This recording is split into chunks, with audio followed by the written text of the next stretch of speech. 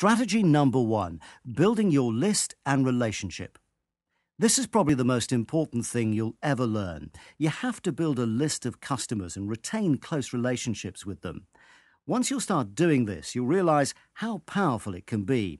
You don't have to spend money on looking for new customers because you already own them. Just send out an email to let them know what's on offer.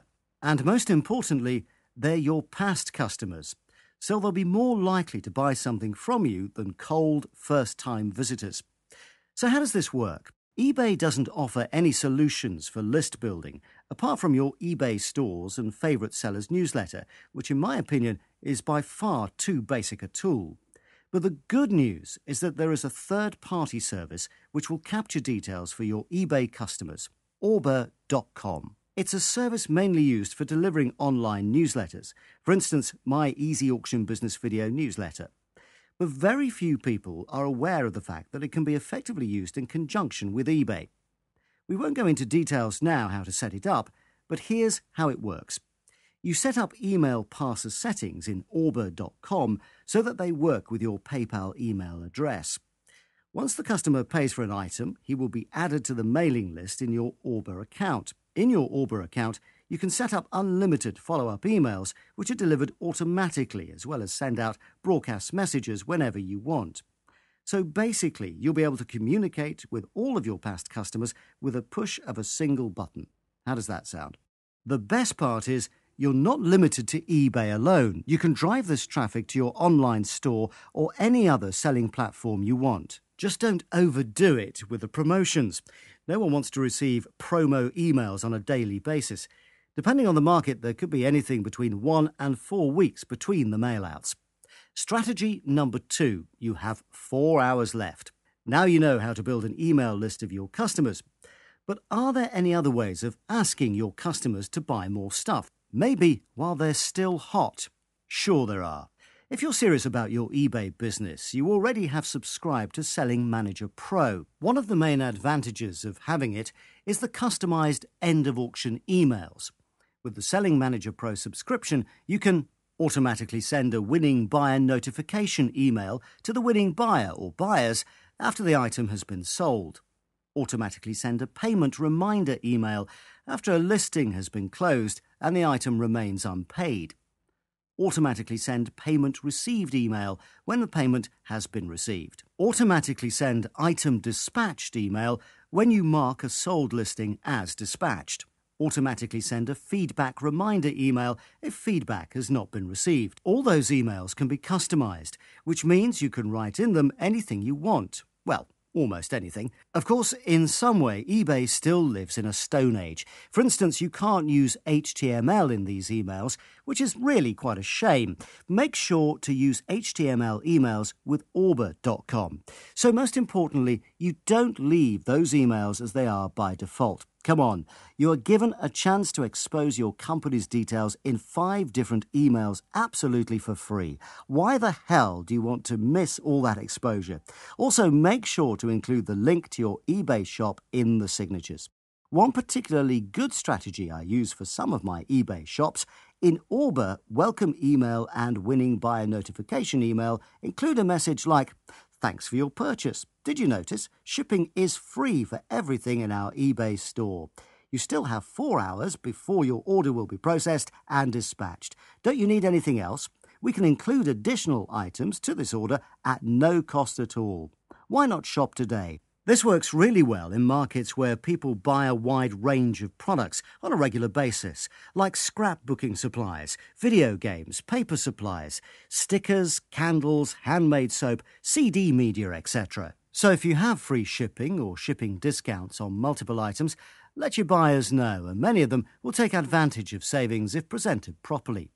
Strategy number three Welcome aboard VIP.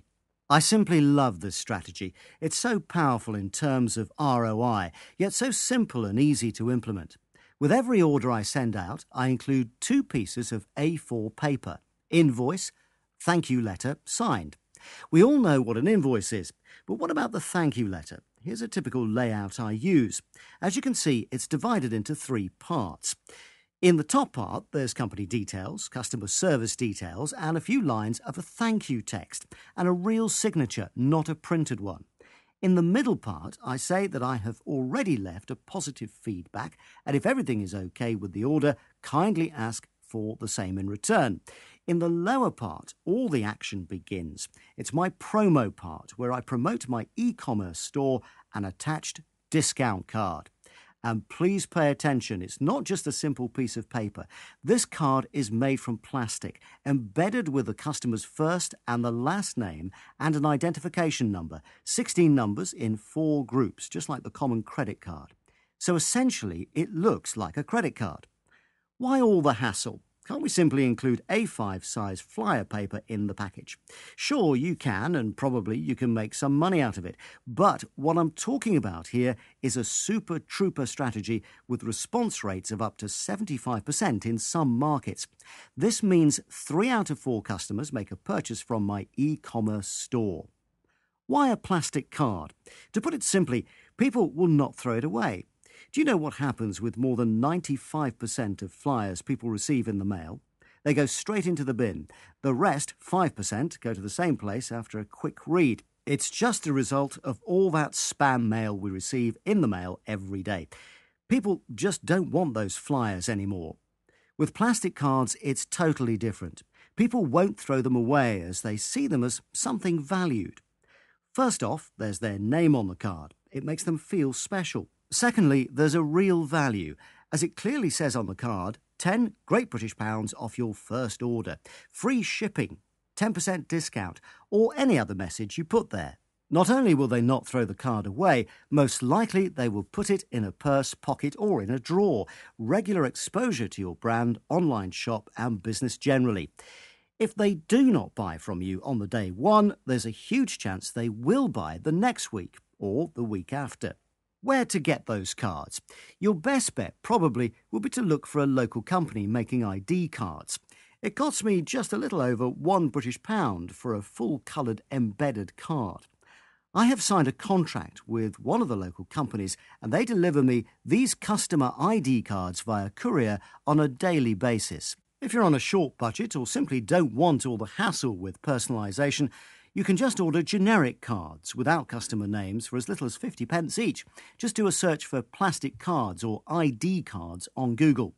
Alternatively, you could buy a card printer and create cards yourself. But this could be worthwhile only with huge volumes, as a good printer will set you back at least for a grand. Okay, that's it for today. I hope you enjoyed today's video. Next week, something really special is coming up. For the first time ever, I'll personally help my newsletter subscribers to create profitable eBay businesses from scratch in less than 60 days. Starting with the branding, logo creation, finding a niche market, suppliers, and ending up with a pro style template. You have never seen anything like this before, so watch out for next week's newsletter. Thanks for watching and see you next week. Have a profitable auction.